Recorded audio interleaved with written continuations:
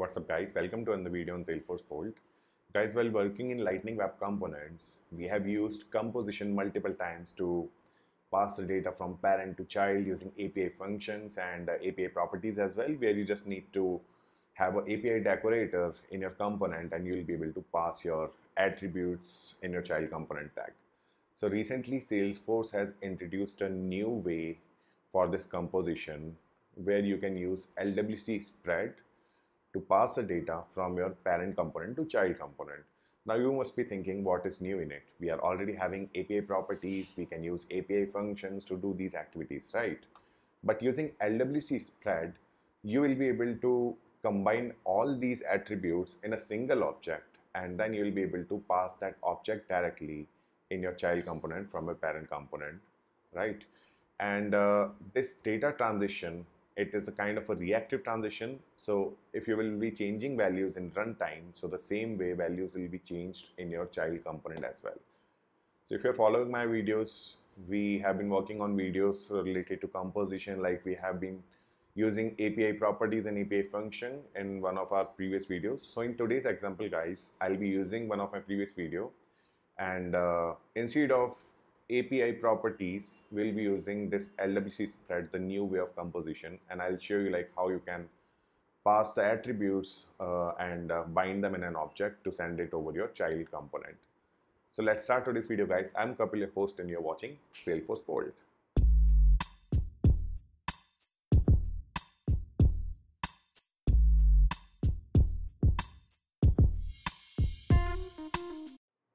Alright guys, let's start today's video so in this video guys I'll show you how you will be able to use LWC spread to pass your attributes as an object.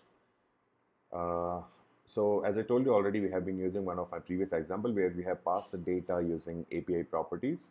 So usually guys using API properties also you can create a kind of a array kind of stuff where you can bind all your parameters and uh, pass it uh, as in data to your child component but in that case, if you'll notice the property name, what you are using, let's say if I'm using my data as a property and inside my data, I'm having name and phone number, right?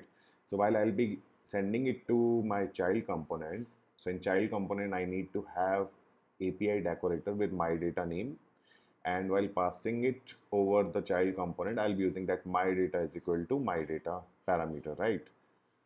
But using LWC spread, as we'll be passing it as an object, right? So instead of having that object name, you can directly, uh, you'll be able to call out your attributes, your parameters. Okay, so first I will use one of my previous example where I have used this API properties. So I'll search for parent to child and mm, let's open this example where I have used APIs and properties okay? So the output of this is going to be we will be passing a percentage and uh, in child component we'll be displaying that percentage okay? I have already created an empty tab for this example on my org as well. So I'll quickly create two components. So command shift P create component and let me name it. Parent parent component okay? And without wasting any time I'll be just copying this thing from here.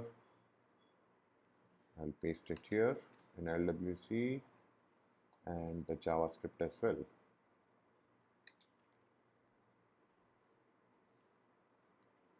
Okay so here's the JavaScript. And we need a child component as well so I'll do create component child component okay. And here is my child component code. First I'll show you how it is working with APIs and uh, then we'll change it to LWC spread. So it will be, be clear to you guys like how you will be using it and uh, what effects it will be having on your component. So yeah. Hmm, let me quickly paste it here and we need to add API decorator here as well. So I'll do API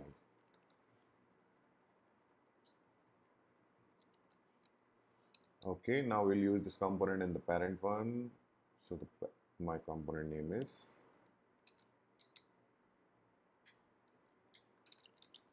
child component. And we need to update the meta xml file as well. So i'll be just checking out in one of my previous component where i have used it. Let me check. Yeah, this lightning app page we can use. So we need to make it exposed and uh, we need to use it in lightning app page. We don't need record page but let it be there. So my parent component is here xml i'll just quickly remove from here. And uh, lightning app page only. Okay it is done now i will deploy my child component and parent component.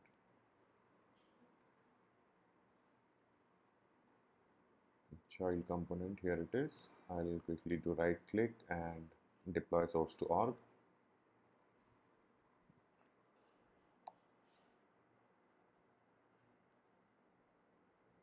Okay it is deployed successfully. Now I will deploy my parent component. So I'll quickly do right click mm, deploy source to org again.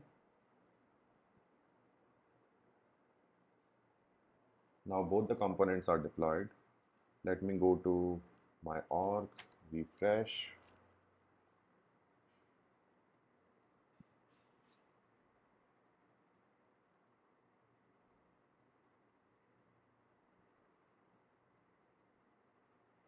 I'll do edit page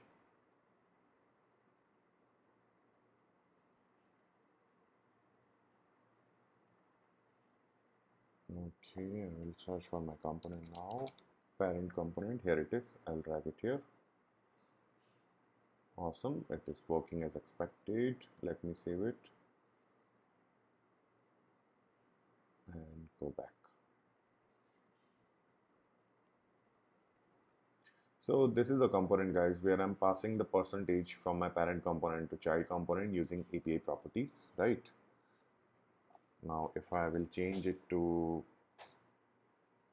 30, you can see 30 percentage, 40. So the percentage bar will be increasing its width accordingly, this according to this value, right? Let me quickly explain the code also if you're seeing this example first time so it would be easier for you so on the parent component guys, we are just having an input and uh, we have used,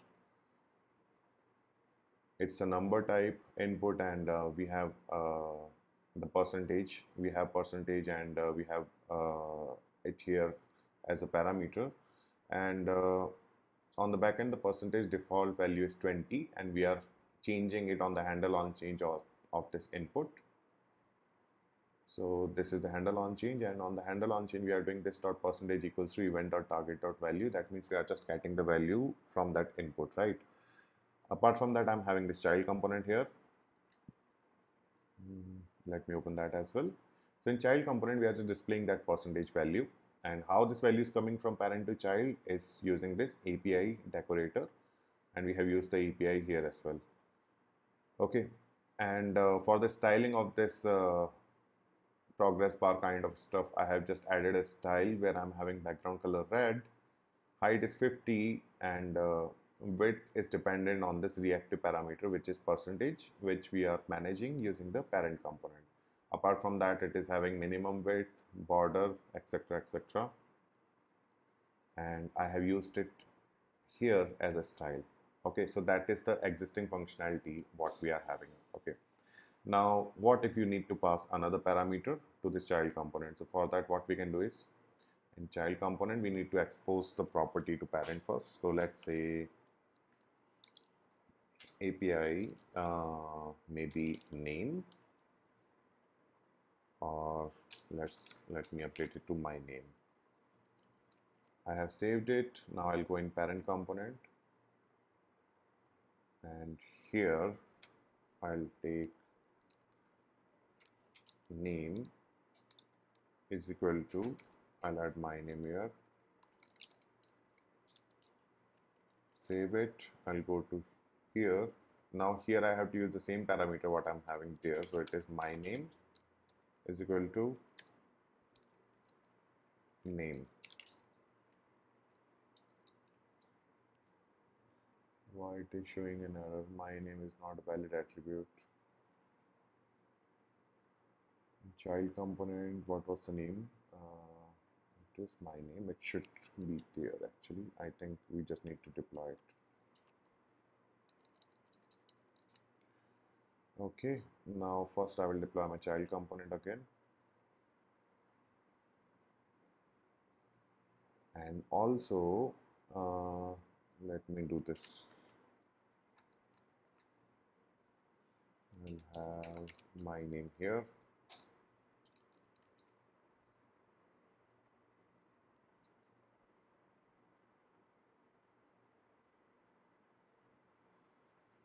this is my parent component.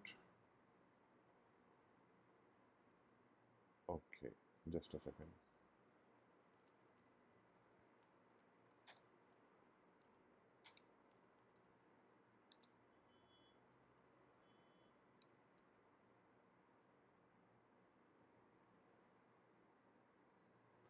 Okay this is because this attribute was having this uppercase parameter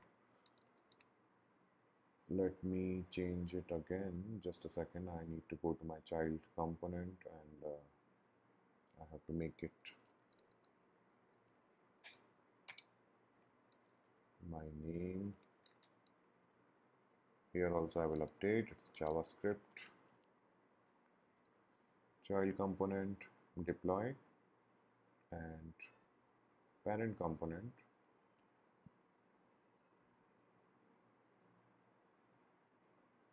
deploy.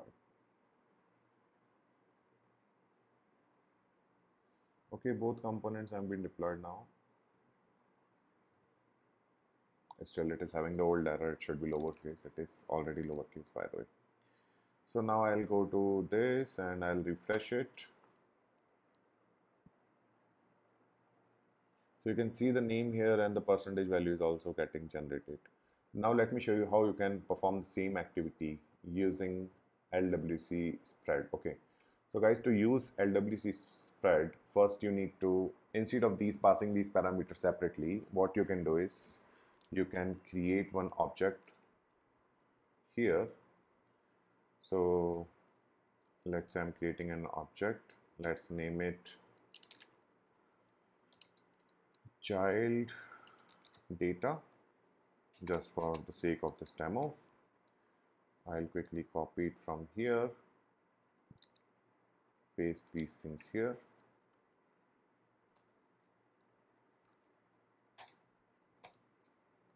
Okay.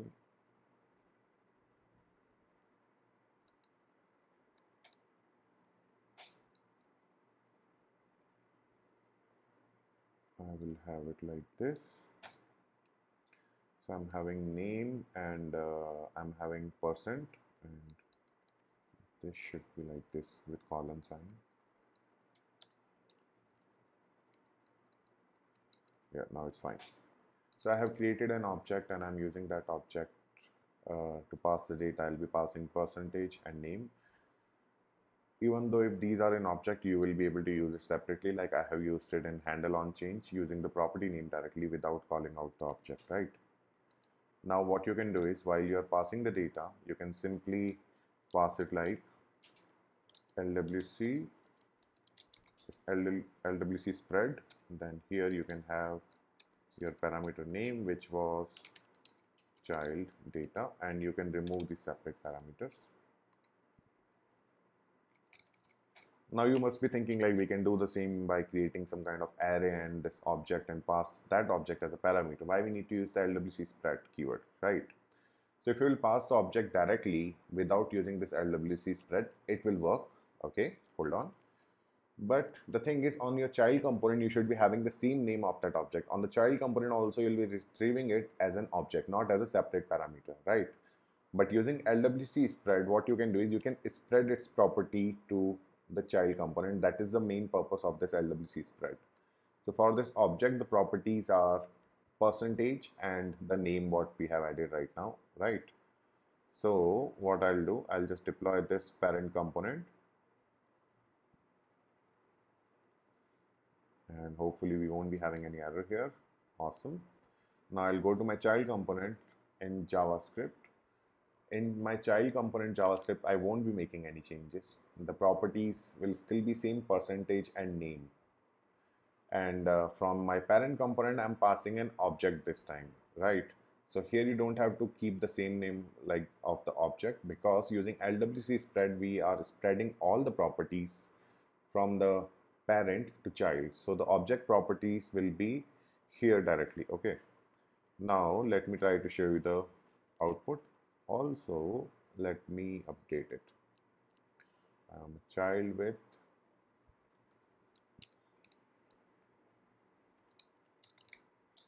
spread date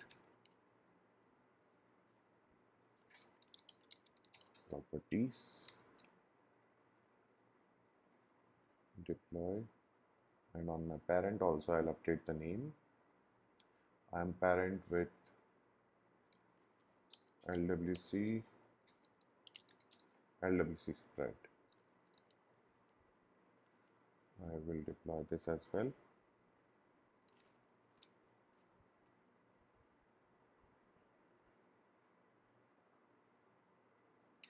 This is also deployed successfully. Now we'll quickly go refresh the page. Okay so we are getting the default value 20 in the child but uh, this input is coming empty. I think I, I have missed something in my code. Okay yeah so these things also needs to be changed. So first thing as it is a object now so what I have to do is I have to use it like this child data dot percentage. First thing another thing would be to change these values on this uh, handle on change. So you won't be able to change it like this this dot percent right? Usually to change data in an object what you can do is you can use like this child data uh, dot percentage. And also another way could be to have it here as these are like properties of this object right? But somehow using spread this thing uh, won't be working right?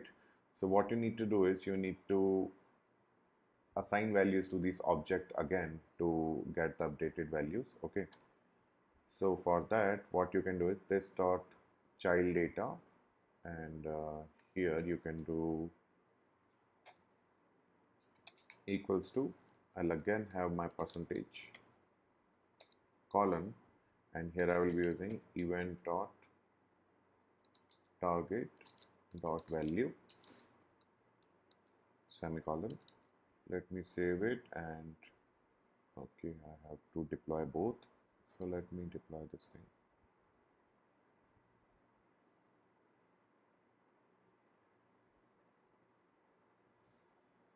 Okay it is deployed now. And here let me refresh it again now you should be able to see the default value also in the yeah here it is. Now if I will change it to 30 40 as you can see it is working in a similar way like the APIs do. The only difference is you don't have to call each parameter separately uh, with the same name. So now if you will see in the child component so I'm using the properties directly. So whenever guys you have a situation where you need to spread out the properties only, you can use the LWC spread. If you just need to pass the data the way it is, then you can of course use the old uh, methods like API or functions as well. So that it is for today guys and uh, I'll be having the complete code of this on my blog which is salesforcebolt.com. So if you need the complete code snippet you can simply go to my blog and get it from there so if you like today's video, uh, subscribe to the channel will be awesome guys. I'll see you in the next one. Thanks for watching.